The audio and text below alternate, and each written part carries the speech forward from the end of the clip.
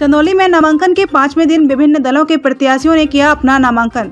भाजपा, सपा व बसपा सहित अन्य दलों के प्रत्याशी पहुँचे कलेक्ट्रेट भवन। अलग अलग सीटों में प्रत्याशियों ने अपना पर्चा किया दाखिल। सकलडीहा से भाजपा प्रत्याशी शर्मा तिवारी के साथ नामांकन कराने कलेक्ट्रेट पहुँचे केंद्रीय मंत्री डॉक्टर महेंद्र नाथ पांडे। नामांकन के बाद मीडिया से हुए मुखातिब सपा बसपा पर रहे हमलावर। केंद्रीय मंत्री ने अखिलेश यादव पर जमकर साधा निशाना। कहा, रात की बजाय दिन में सपने देखते हैं अखिलेश। सैयद राजा के सिटिंग भाजपा विधायक व प्रत्याशी सुशील सिंह ने भी किया नामांकन। सदर कोतवाली क्षेत्र के कलेक्टर परिसर का है पूरा मामला। चंदौली से कार्तिकेय पांडे की रिपोर्ट। मैंने आज जो सीटों में पर्चा दाखिल किया है। किन मुद्दों को लेकर चुनाव मैदान में रहेंगे मैं विकास के मुद्दों को लेकर के चुनाव मैदान में हूँ प्रमुख समस्याएँ क्या हैं जिनको आप उठाएँगे या इनको दूर करना चाहेंगे? हमारे यहाँ प्रमुख समस्याएँ हैं। युवाओं को रोज़गार की बात में हमको जो है अगर जनता हमको अपना जनसेवक के रूप में विधायक बनाती है तो मैं उस पर अमल करूँगा। सकड़िया विधानसभा में किससे मुकाबला मानते हैं? मुकाबला कहने को तो पार्टियाँ सभी लड़ रही हैं लड़ना सबका अधिकार है। लेकिन इस बार मैं सकलिया की जनता ने मन बना चुका है। इस बार जैसे धारा तीन सौ सत्तर कश्मीर से हटी है इस बार सकलिया से वो भी धारा तीन सौ सत्तर के रूप में खत्म हो जाएगी और भारतीय जनता पार्टी वहाँ पे यह कमल का फूल खिलाएगी 2017 में जब आपकी सरकार बनी तो सारी छोटी दल छोटी पार्टियाँ आपके पार्टी में थी। आज इसमें समाजवादी पार्टी में तो कितना असर पड़ेगा? नहीं नहीं सभी आप ये देख लीजिए कि जिन घरों पर झंडा टंगा था सपा का उस पर भाजपा का झंडा टंग गया है।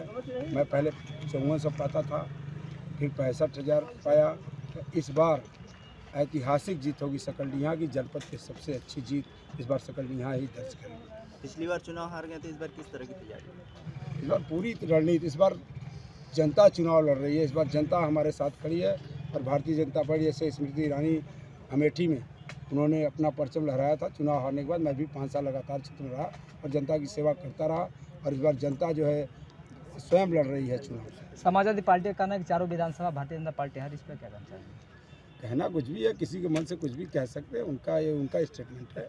हमारा स्टेटमेंट है हमारी पार्टी भारतीय जनता पार्टी चारों सीट पे हम लोग विधानसभा चुनाव जीतेंगे। आपके विधानसभा में कुछ राजभर वोटर हैं। हम्म। तो ओम प्रकाश राजभर को देख रहे हैं अनिल राजभर को?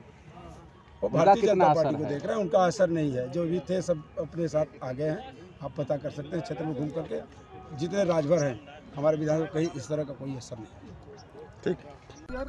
दूसरे चरण में ब्रज क्षेत्र में रोयलखंड के शाहजहांपुर आदि सभी क्षेत्रों में रामपुर में सभी जगह भारतीय जनता पार्टी के पक्ष में बहुत ही शानदार वोटिंग की रुझान की सूचनाएँ हम लोगों के पास हैं। अखिलेश यादव ने कहा है कि इसका इसके पहले जो चरण हुआ पहला चरण हुआ उसमें सपा ने सुपड़ा साफ़ किया है। दूसरे चरण को लेकर के भी इसी तरीके का बयान है और साथ में उन्होंने कहा है कि अगर भाजपा 40 सीट से 325 सीट आ सकती है तो हम सैंतालीस से 400 क्यों नहीं आ सकते? इस पर क्या रिएक्शन अब ये तो आप सब बहुत ही जागरूक पत्रकार हैं। अखिलेश जी को दिन में सपने देखने के लिए हम रोक नहीं सकते। भाजपा रियल अर्थों में 300 पार के बहुमत के साथ सरकार बनाने जा रही है। आधे आधे वोटरों के लिए प्रियंका एक विकल्प बनने का प्रयास कर रही है। राजनीति में और इलेक्शन में उनकी उनकी उपस्थिति का कुछ असर देखते हैं आपने जो सवाल किया, उसका एक लाइन का मेरा उत्तर है और जिम्मेवारी से उत्तर है। और हम 10 मार्च को इस बार मिलेंगे। नितिन जी, जैसे बंगाल में कांग्रेस ज़ीरो पर आउट हुई है, मुझे प्रत्यक्ष लग रहा है कि उत्तर प्रदेश में कांग्रेस के पास जो दो तीन जनाधार के लोग थे, जो अपनी पर्सनल छवि से जीते थे, वो भाजपा में आ गए हैं। और कांग्रेस ज़ीरो पर उत्तर प्रदेश में आउट होगी। बिल्कुल अप्रासंगिक हो चुकी है।